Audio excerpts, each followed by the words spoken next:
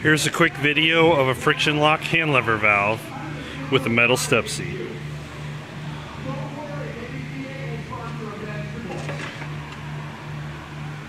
Yeah,